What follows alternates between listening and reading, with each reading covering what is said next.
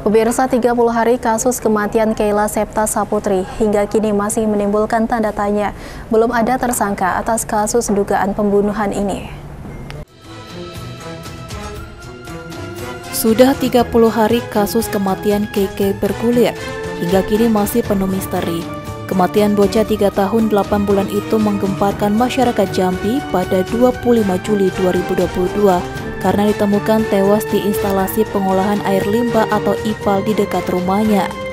Kuasa hukum KK Ferdi mengatakan, dari keterangan penyidik bahwa proses penyelidikan kasus kematian KK ini membutuhkan waktu untuk mengungkap perkara tersebut. Ferdi menyebut berbagai metode penyelidikan digunakan polisi dalam perkara ini, seperti saintik dan psikologi, dan memeriksa seluruh daftar saksi menggunakan metode psikologi.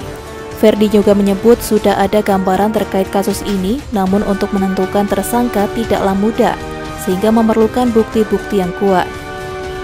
Menurut info yang kemarin yang kita terima, polisi melalui penyidik sudah melakukan metode-metode yang berdasarkan uh, bagaimana bisa mengungkapkan suatu kasus. Mereka punya metode yang sangat-sangat canggih dan sangat-sangat ilmiah.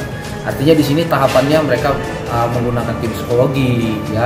Yang terakhir semua saksi yang memang masuk daftar saksi yang memang mereka mereka garis bawahi itu sudah diperiksa melalui metode psikologi. Bahkan nanti sampai metode-metode yang yang lebih mendetailkan perkara kiki ya. Namun memang sudah ada gambaran-gambarannya, tapi kan menentukan status tersangka itu tidak gampang.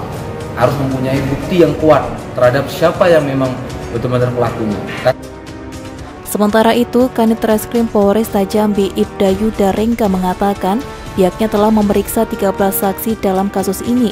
Sebelumnya diketahui dari hasil autopsi tubuh KK ditemukan luka seperti tengkorak belakang hancur, luka lebam di bagian mata, hingga dugaan kekerasan seksual. Dimas Sanjaya, Cik TV, melaporkan.